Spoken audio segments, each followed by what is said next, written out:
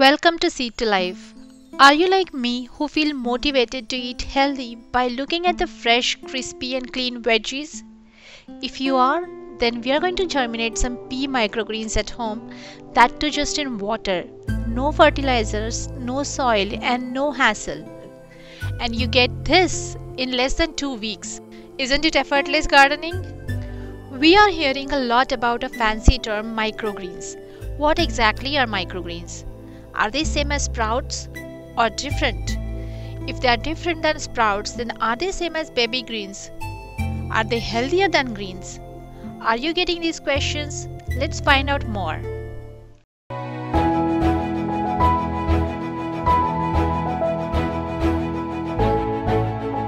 Why is growing own microgreens is becoming more popular nowadays? I don't think this question needs any answering. During lockdown, most of us have faced food shortage, especially the shortage of fresh food. Not all of us are gardeners or have space or liking or capacity to grow our own food. To grow microgreens, we don't need any special equipment. Just some clean water, a cooking pot, and a colander, and we are all set.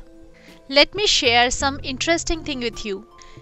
Did you know that there is more interest shown even by space researchers about growing such microgreens and fast growing vegetables in space? They are working on a school program named Vegetable Production System or VEGGIE.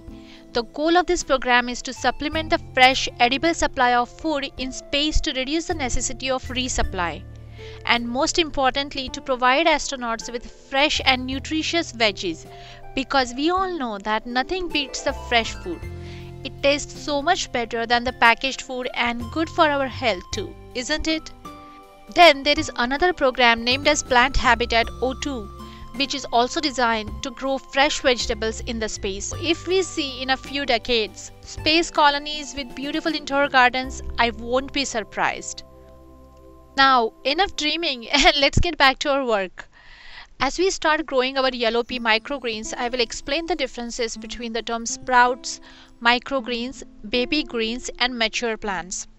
I have taken a cup of yellow peas and washed them thoroughly at least 2 to 3 times. Then soak them in water for about 8 to 10 hours. The next day, drain out the water and wash them one more time and then spread them on a colander or any tray with holes that will provide adequate air circulation. Then keep a water filled container under this colander to provide continuous moisture to the growing roots. As the seeds germinate, they will grow towards the water and stay hydrated. You can cover this colander with a plate or damp cloth. Generally, I use a plate so that everything stays clean, but because the peas are harder compared to some other beans, I am going to cover them up with a moist paper towel and then put a lid on the top. When you soak the seeds, the first product that you get are sprouts. These are the growing roots. You can't just cook the beans as they are. You need to soak them in water overnight. Soaking them make the pulses easier to digest.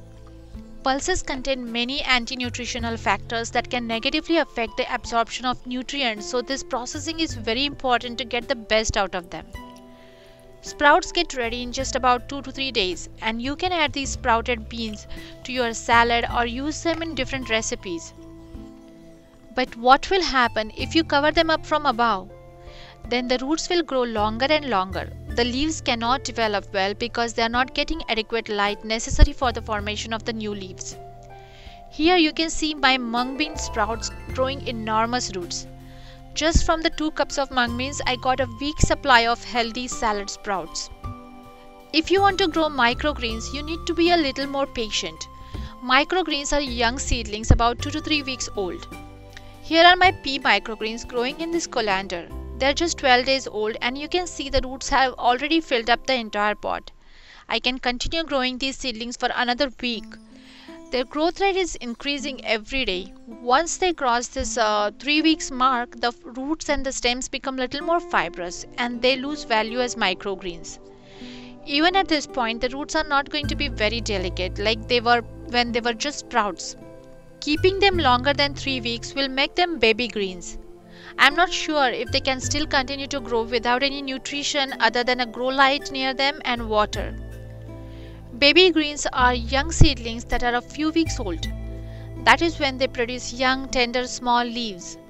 You must have seen baby spinach or kale in salad mix. Once the roots and stems become fibrous, they are not much edible as they lose tenderness, but you can still harvest the leaves. Pea leaves also taste good. I'm going to harvest these pea shoots and keep the roots in water to grow them again. Pea microgreens are known to grow back. I'm curious to know how many times I can harvest the shoots. If you're not planning to regrow again, then they can be a great addition to your compost bin. This is day 12 and I'm harvesting some microgreens. The roots are still not very hard but I want to keep them longer to grow back more shoots.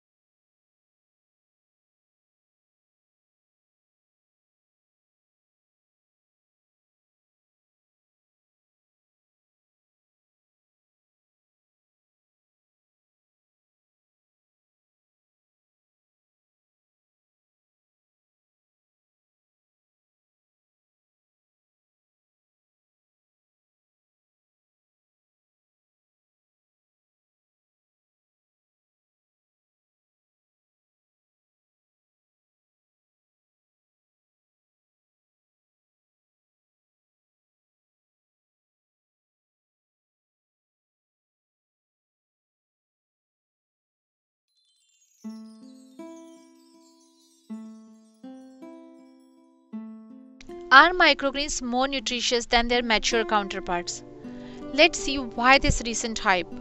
What makes microgreens so glamorous?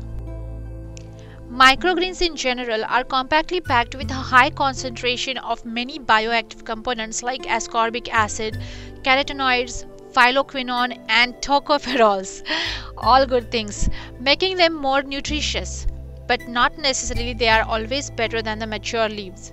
It depends on the variety of microgreens.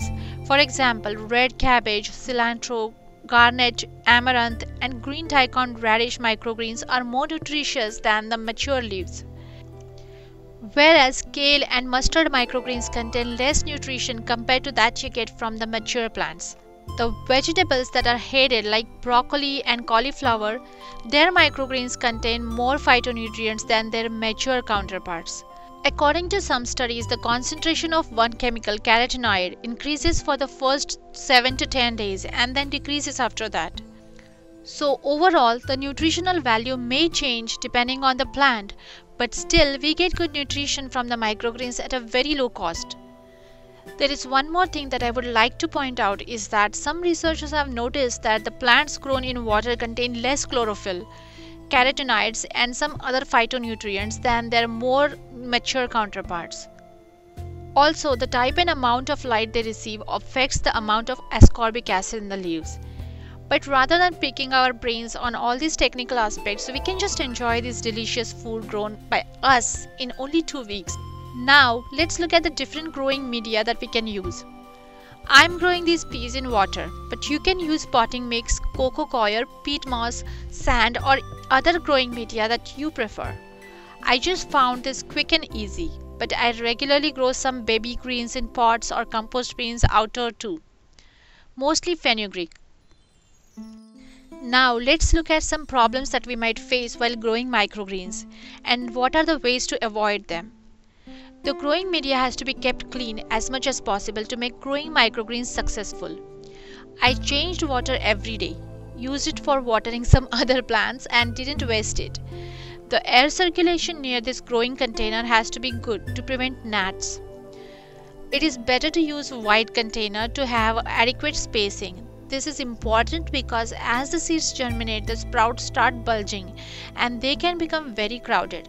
Even here I should have used fewer peas. You can see the seeds are all clumped together. Not all the seeds are able to reach the water below. Otherwise there would be many more sprouts. The same thing happened with the mung bean sprouts and at one spot I saw some fungus developing.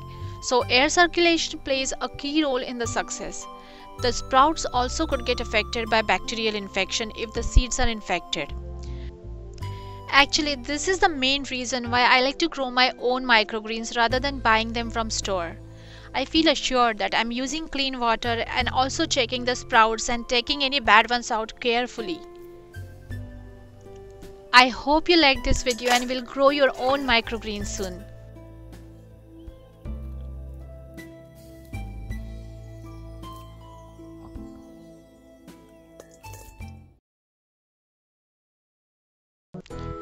A big thanks to you for watching my videos and supporting my channel Seed to Life.